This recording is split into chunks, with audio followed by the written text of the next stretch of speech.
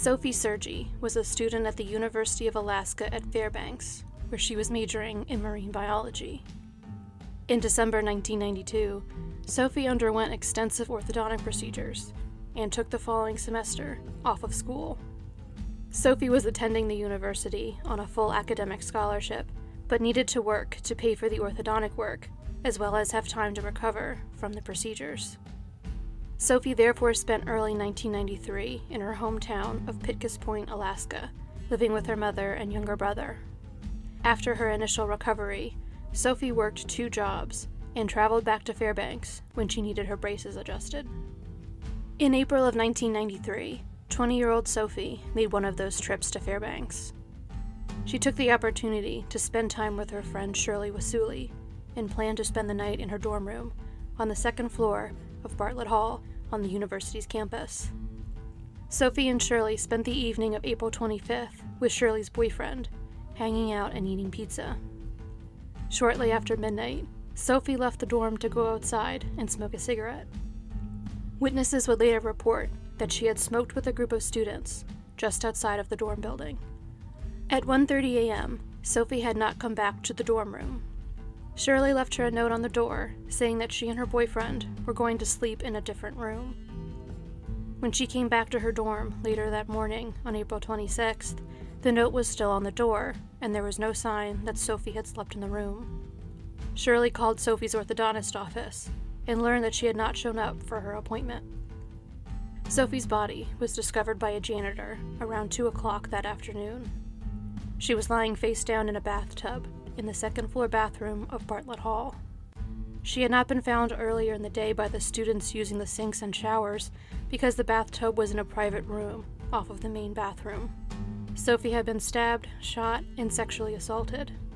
The medical examiner estimated that she had died in the very early hours of the 26th. Authorities interviewed everyone who lived in Bartlett Hall, but found very few leads. There was DNA found on Sophie's body, but no match to it was ever found in any police database over the years.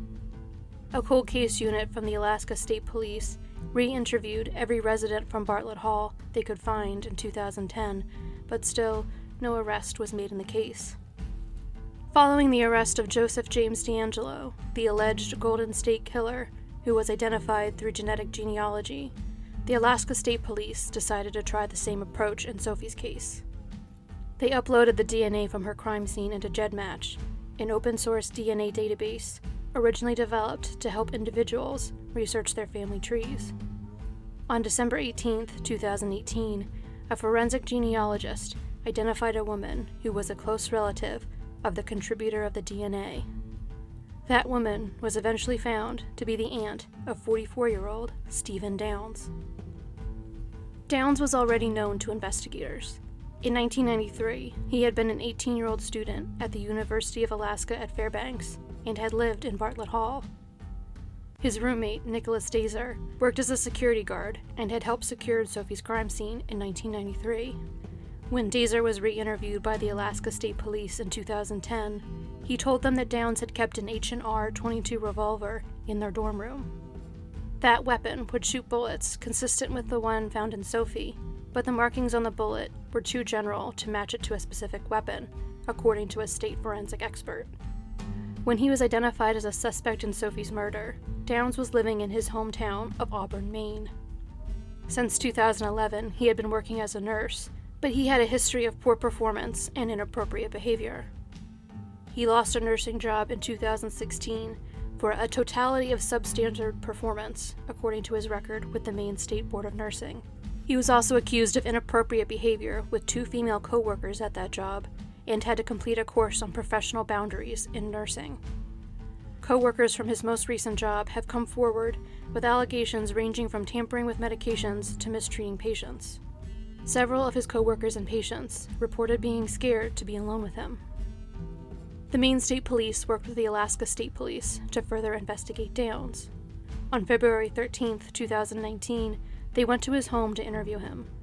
He denied any involvement in the case, but said he remembered Sophie's face on posters that were put up after her murder and feeling sorry for her. The following day, the Maine State Police returned with warrants to collect a DNA sample from Downs and search his house. The DNA was tested and confirmed to be a match to the DNA found at Sophie's crime scene. On February 15th, Steven Downs was arrested and charged with murder and sexual assault. He is currently fighting extradition to Alaska to face these charges. Between 1991 and 2006, a serial rapist, eventually dubbed the NorCal Rapist, assaulted at least 10 women in six counties in Northern California. He would force his way into victims' homes, restrain them, and rape them multiple times. He abducted some of his victims, taking them from their homes to force them to withdraw money from an ATM, which led to the infamous images of him on security footage, wearing a clear mask meant for burn victims. He apparently also stalked his victims. Two weeks after he assaulted a woman on Halloween of 1996, wearing a skeleton mask, he called the dental office where she worked. He claimed to be sorry. One of his other victims was Maki Anderson. In July 1997, she was a 21 year old student at Chico State University. During her attack, she managed to break free of the restraints the NorCal rapist had used on her. He rebound her, but she broke free two more times. She then stabbed him in the arm with a pair of scissors. As was his habit, her attacker took Maki's bed sheets with him in an attempt to limit the amount of evidence police had to investigate with. He left behind her pillowcase, though, and it had a sample of the blood he had lost in Maki's brave attempt to fight him off. This was just one of the sources of DNA the NorCal rapist left behind at his crime scenes. Police were never able to find a match to it in any database, however. In 2018, the sample was entered into GEDmatch. Within 10 days of entering the sample, authorities were able to identify a suspect through one of his relatives, surveil him, collect a straw from his garbage can, test it, confirm that the suspect's DNA matched the samples from the crime scenes, and make an arrest. The man identified and arrested was named Roy Charles Waller. Waller was arrested as he arrived to work on September 20th, 2018. The 58 year old worked as a safety specialist in the Environment, Health, and Safety Department at the University of California at Berkeley. On September 21st, the university released a statement saying that Waller was placed on investigative leave and that they will be reviewing all open on campus sexual assault cases to confirm that Waller had not been involved in them. When Waller had his first court date on September 24, 2018, Maki Anderson was sitting in the second row of the courtroom. Waller was charged with 12 counts of forcible sexual assault, all stemming from an hours long attack on two roommates in October 2006. After the hearing, Maki spoke with the media outside of the courthouse. I want him to know that he did not break me, she told them. He did not break me, and I know what he has coming to him. He needs to be locked up until he learns what it is to be human. The original dozen charges Waller faces could put him in prison for the rest of his life. However, the original 12 charges were only in connection to the one attack in Sacramento County. On January 7, 2019, he was also charged with 28 additional offenses in connection with the crimes in five other California counties. He is next due to appear in court on March 8, 2019. On June 13, 1993, a woman called the property manager for her apartment in a building in the 3100 block of Pillsbury Avenue in Minneapolis, Minnesota, to complain that water was leaking into her apartment. The manager determined that the water was coming from a different unit in the building and let himself into it to investigate when there was no answer at the door. He found the water was coming from the shower, which had been left running. He also found a large amount of blood and the nude body of 35 year old Jean Childs. She had been stabbed multiple times. Jean was a sex worker who brought her clients back to the apartment she was found in, which was rented by her boyfriend, he had been out of state at the time of her murder. Police collected several items from the scene that would eventually be tested for DNA, including a blue towel, a washcloth, a red t shirt, a comforter, and a bloodstain in the sink. The unidentified DNA found at the scene was never matched to any sample in police DNA databases. In 2018, authorities uploaded the unknown DNA to a commercial DNA database and worked with a forensic genealogist to identify the contributor of the DNA. Police have not disclosed which database they used, but it does not appear to be GEDmatch, as the Hennepin County attorney described it as a genealogy company you see advertised on TV. The genealogist identified two individuals with the right amount of shared DNA to the relative found in the commercial database. In investigating the two individuals, police found that one of them had moved to the Minneapolis St. Paul metro area in early 1991 and moved away six months after Jean's murder. His police record was mostly composed of traffic violations and driving while intoxicated convictions. However, he was also convicted in February 2016 for soliciting sex using the internet in 2015. In January 2019, police placed this suspect under surveillance and followed him to a hockey game.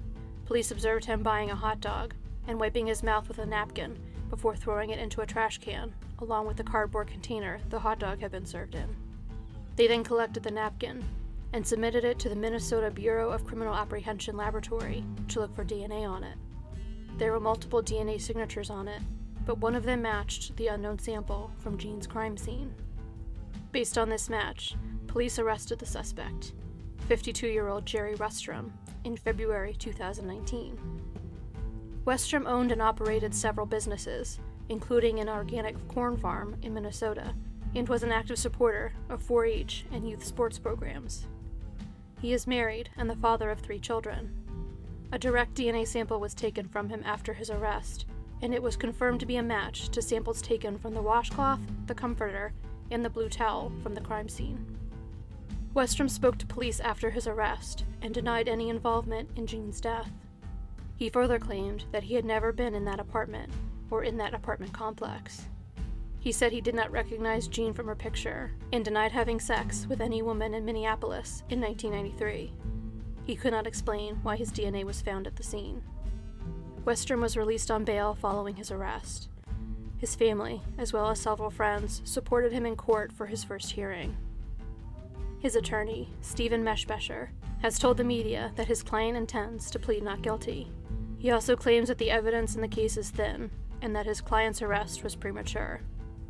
Westrom is due back in court on March 13, 2019. 30 year old Jack Upton was a popular and responsible manager at a Safeway grocery store in Fremont, California. His coworkers were therefore worried when he missed several shifts at work. On December 17, 1990, police were called to check in on him at his apartment. There, police found Jack's body, beaten and stabbed to death. His 1985 Nissan 300 ZX was missing from the apartment complex's lot. A week later, the car was found in a mall parking lot in Thousand Oaks, California, more than 350 miles away. Police were able to lift fingerprints from inside of it. At the crime scene and in the car, police found matching blood samples that they could not identify, but believed came from Jack's killer. Authorities would periodically run the DNA from the unidentified sample through databases as they continued to improve over the ensuing years, but they were never able to find a match. In 2018, the Fremont Police Department contacted Parabon Nanolabs, who used forensic genealogy to identify Russell Anthony Guerrero as a potential suspect. In October 2018, Fremont police traveled to Tempe, Arizona, where Guerrero was living, to begin surveilling him. They were able to collect a discarded DNA sample from him, which proved to be a match to the DNA found in Jack's apartment and car. Sometime after the DNA match was made, Guerrero's fingerprints were determined to be a match to ones found in the car. On January 17, 2019, Guerrero was charged with one count of murder by the Alameda County District Attorney's Office. On January 22nd, Fremont detectives arrested him in Chandler, Arizona. Authorities have not yet found a connection between Jack Upton and Guerrero, nor have they identified a motive for the crime. Guerrero does have a criminal record in several states.